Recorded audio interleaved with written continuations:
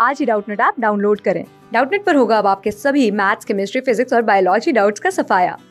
बस अपने क्वेश्चन की फ़ोटो खींचो उसे क्रॉप करो और तुरंत वीडियो सोल्यूशन पाओ download now students, let's start the question. Question here is how transmission of each of the following diseases takes place. तो यहाँ पे हमें पूछा गया है कि जो ये डिज़ीज़ दी गई है जो कि निमोनिया है ये किस तरह से ट्रांसमिट होती है? निमोनिया की अगर हम बात करें so it is caused by the streptococcus pneumoniae right means ये जो है, एक बैक्टीरियल डिज़ीज़ है, जो कि कॉज होती है यहाँ पे स्ट्रेप्टोकोकस निमोने से। अब इसके ट्रांसमिशन की अगर हम बात करें तो ये जो है ट्रांसमिट होते हैं by the airborne respiratory droplets right जैसे कि कई बार जो है infected person